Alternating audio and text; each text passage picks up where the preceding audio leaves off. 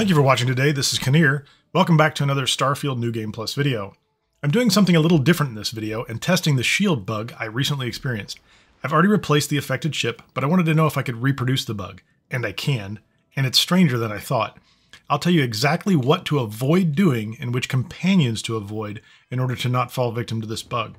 As a bonus, I found a way to get my shields on the new Cutlass 5, which was my Claymore 3 that I just retrofitted, up to over 3,800 points. So let's get started. So I'm going to walk through a series of tests that I did in order to find this bug and reproduce it. My goal was to be able to create the bug anytime I wanted to as a way to understand better how it was caused or at least what factors came into play when it was triggered. I don't know exactly when I triggered this bug, but I have a pretty good guess by the end of this process. One of the first things I needed to look at, though, was my own ship related skills and the skills that crew members have. So for Kineer's ship related skills, I have payloads, piloting, and engine systems at 4 of 4. Shield systems was at 3 of 4, which gives me a 60% boost in shields. That's relevant.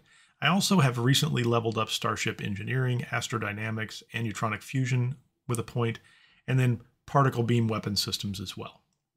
The crew I have are mixed, and I typically break down crew skills into three categories. The first category is ship defense, power, mobility, and cargo, weapon systems, and crew personal skills. Now, I'm not really worried about the crew that have personal skills like wellness and gastronomy and things like that.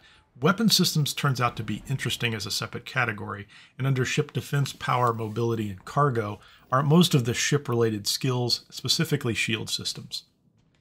So we'll keep those in mind. I assumed, because this is a shield systems bug, that shield systems was one of the skills I needed to be paying attention to.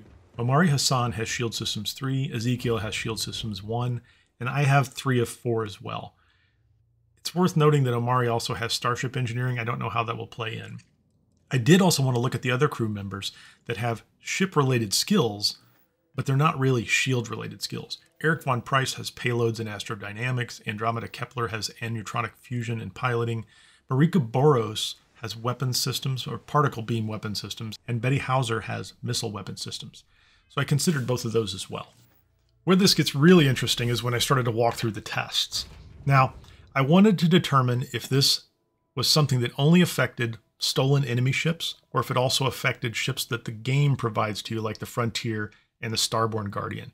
So one of the first tests I did was with the Frontier. And I used Omari because he has Shield Systems 3 as well, and I have Shield Systems 3. So in the Frontier, on the top of this table, the core shield rating is 310. My 60% should be 186, so I would expect a 496 rating just when I get in the ship and decide to go someplace. When Omari is part of my crew, I expect another 20% on top of that for a 558. And that's what I saw. So I took the Frontier into space, and here's the test I ran. I did a save and a restore, just from orbit, nothing special. And the moment I finished the restore, the shield had dropped to 372 and this ship was bugged.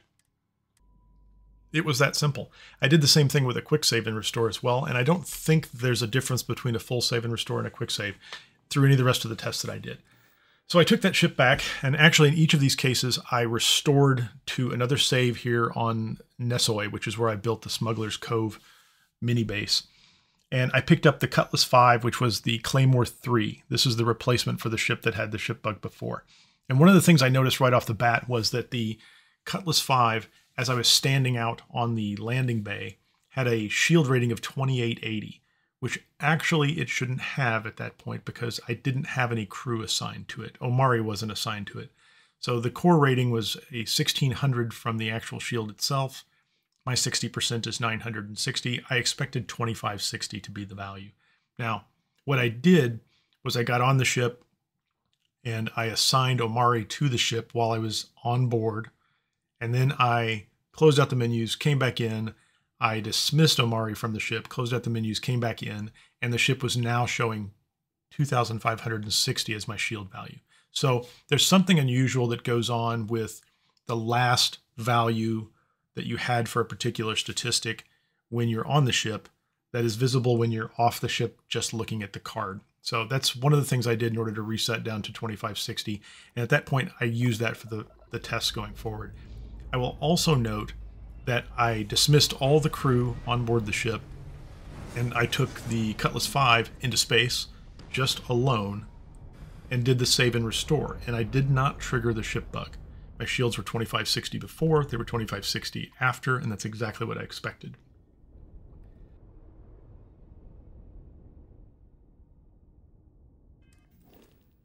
Since I wanted to focus on shield systems, I restored to my previous restore on Nesoi. That's my base for all these tests. And at this point, I stood outside the ship and I assigned Omari and Ezekiel to the ship. Both of them have shield systems, one at three and one at, at uh, level one. I looked at the ship card and it still showed 2560. I did not see any bonus from either one of them on the ship's shield rating. So I entered the ship, exited the ship, and re entered the ship. And at that point in time, I could see 2880 as my shield score. And that's what I expected 1600 from the, the shield module itself, 960 from me, and then another 320 or 20% from Omari for a total of 2,880. It did not count Ezekiel, which is what I, I expected. It's supposed to take the highest level crew member skill and apply that and ignore anything else. So then I took that ship, which had 2880, into space. I did a save and a restore, and the shield dropped immediately to 1920. The 1920 reflects the previous shield score, I believe, minus my 60% bonus of 960. It was still counting Omari, it was still counting the core ship module rating of 1600, and so the result was 1920. So I reset the ship. At this point, I thought, well, let's try some other crew members other than those that have shield systems. So I picked up Eric von Price and brought him on board the ship. I also wanted to see if the cargo capacity changed. And I believe while I was outside the ship, the cargo capacity was at 8,000, and that's just from me. That's the ship's core cargo capacity plus my 50% bonus. When I got on the ship and Eric was assigned, I did see an additional 10%, which made it 8,801. There was one additional point in there. It's interesting that his 10% was based on the total capacity of the ship after my bonus was already applied. When it comes to shields, the crew bonuses are based on the core value of the shield itself. So in the case of a shield, they don't do 20 a 20% calculation for Omari based on the shield value after my bonus is applied. In the case of cargo, it appears that they do that. Anyway, I took Eric into space, just Eric, who has no shield systems skill at all. I did the save and restore, and the shields got bugged immediately, and they went down to 1600. So that was just 1600. It removed my 60%. Eric didn't have anything, so that didn't count. Restored back to my original Nesoi restore. I tried the same thing with Andromeda, and just to confirm that it didn't make a difference if I assigned them while I was on the ship or outside the ship, I assigned Andromeda while I was standing outside the ship. I did the test. I assigned Andromeda while I was standing inside the ship. It didn't matter. Andromeda, who doesn't have shield systems and who actually has anew fusion and piloting skill, also triggered the bug. So she's in that category of crew members that have some kind of ship specific skill, but it's not weapon related. My next test demonstrated why that made a difference. I took Betty up into space and Marika separately. Neither one of them triggered the bug. They were the only crew members I had on the ship at the time. It was pretty straightforward to launch into space, do a save, do a restore, and check the shields. And in both cases, the shields stayed at 2560, which was my core bonus added on top of the shield's core 1600 value. It looks like if the skill for the crew member is purely personal, or if it's personal and maybe it includes a weapon system skill, it doesn't trigger the shield bug as an additional test, and I and I went back and I looked at some older videos on this because this this issue's been known for some time now. I also read a lot of Reddit posts on this as well, just to see if anybody else had been talking about this. And there's some interesting theories out there. They didn't all work out the way that people thought they were working at the time. And I believe part of this is because when most of this was originally identified, people were still going through the original game, they were going through the main quest line, whenever they saw something happen, they would associate it with the constellation members as well. So they might think in many cases that it was related to Vasco specifically. I don't believe it was related to Vasco specifically. I think it is more generally related to the skills that are associated with crew members, whether they're constellation or non constellation. So every one of my crew members are non constellation because I'm in a New Game Plus alternate universe and there's no constellation here. So one of the tests I did, or one of the last tests I did, was I took Omari with me and I went through the steps necessary to get this ship properly to 2880. And then I flew out into space in a location where I thought I could get some combat. I did not create a save myself. I didn't do a quick save and I didn't do a full save. But when you fly to another location, the game automatically creates a save. And if you look at the list, there's an auto save out there. I then got into combat, and after a minute, when I realized that my turrets were going to kill everything around me, I took the power away from my turrets and I let the enemies kill me. My ship exploded, and the game automatically restored me to the automatic save that it created.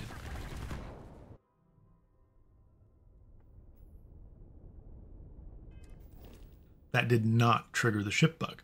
Omari was on board, which would have normally triggered the ship bug if I was the one doing the save and the restore. So that didn't work that way. I also did another test where I created a save in space. I landed the ship, and then I restored that save into space, and that did not trigger the ship bug. This is very, very specific to being in space, creating a save, and then doing a restoration at that exact moment in time. So in the end, the autosave created by the game was not a problem. Autosave and restore if you get killed in space combat, you don't really have to worry about it. That doesn't trigger the, or it didn't trigger the bug for me. In addition, if I had a save in space, which would normally have the name of my ship on it, if I loaded that when I started the game up, or if I just happened to be like in, in New Atlantis and I wanted to go straight back to that save instead, that didn't seem to trigger it either. It had everything to do with being in space and both saving and restoring. I did at one point in time wait two minutes between the save and the restore, and that didn't have an effect. It still caused the bug. The last test that I did, or one of the last tests that I did, was with the Starborn Guardian. Starborn Guardian has a shield rating of 1120 on it originally. My bonus is 672. I would expect to see 7, 1792 as the ship shield rating, unless I had Omari as a crew member, in which case I'd expect to see 2016. I put Omari on the ship. Everything lined up. I saw 2016. I went into orbit at Nesoi. I did a save and a restore, and the shield dropped to 1344 immediately. Starborn Guardian 5, I would consider bugged at that point. So I restored back to another one. But through this, I demonstrated essentially that the Frontier, the Claymore, and the Starborn Guardian 5 were all subject to the same bug it really didn't matter which ship it was, and I wanted to eliminate that up front because I didn't know if it was certain types of ships. It's ships that are provided with the game. It's ships that you know you, you can only get one of, and quite frankly, if they become bugged, I'm not sure you can even sell the Frontier from your inventory. I'm not positive on that one, and and I haven't checked with the Starborn as well. So you may end up in a situation where they're bugged and you've you've lost some inventory slots as well. The final test that I did, and this is actually something that I saw in an earlier video, and I didn't have the time to go through and test this thoroughly, but there was a very, very specific claim on another way to trigger this bug. And it was, if you are in combat and you complete the combat and you've won, you've killed all the enemies around you, and you spend a skill point while on your ship in an area that affects the ship itself, you can trigger the bug. And so I did that. I had to go out and do some hunting on Schrodinger 3 in order to get another skill to get another level so that I had a skill point. But then I went out and went into combat someplace, wrapped up the combat, opened up my skill tree, and I picked the fourth point in shield systems because that was still open to me. I dropped a point in there, I closed down that menu, I opened up the ship again, and my shields were at 3,840, which I don't believe should mathematically be possible for that ship. If I do the math on it and break it apart, that's 1600 for the shield module itself. That is my bonus of 960 multiplied by 2, or applied twice, plus Omari's bonus of 320 to get to 3,840. So the reason I said that's a very specific and unique kind of bonus is I'm not sure it's the kind of thing you can just arbitrarily pull off. I don't know if you spend points in a different skill area right after combat, if you would trigger this bug and if it would go the opposite direction. What I had seen earlier was that the bug was triggered and you lost points off of shields. I had not seen anybody do this and gain points off of shields, and I don't really know if it's specific to the, the skill that I actually chose. So you might be able to reproduce this, or you might not. I'm not suggesting anybody try. I'm just citing it as another strange anomaly in this this Bethesda Starfield shield math problem that's going on. I really hope they correct this at some point in time in the future. I do believe that as long as this exists in the game, I don't have any real issues with ship farming or and specifically I don't have any real issues using Claymore 3s or any other ships I collect as my core ship. I have in another save custom built a ship, spent almost a million credits on it, and I went back and checked that save I hadn't noticed before, and it's bugged. So it's a little bit of a disappointment to put forth that kind of effort to build something custom that you really like and then have it get bugged, given the fact that we don't know any method to, let's say, unbug those ships at this point in time. Now, is that impact significant? It's not really that significant. For the most part, you can still do combat. It might be a little dicier as you go, especially if there's a way to replace ships. Like if I'm using a Claymore and a Claymore gets bugged, I don't really care. I'll go pick up another one. If I'm using a custom ship that I spent a million credits on, I'm probably a little more disappointed. But if you're following this guide in order to go through New Game Plus, you may reach the end of your cycle pretty quickly and go on go on through the Unity again soon. So this isn't the kind of thing I don't I don't build custom ships in my New Game Plus games. Now, when I get to my final New Game Plus, I might stop around uh, New Game Plus 10, and at that point in time, I might want to build some ships.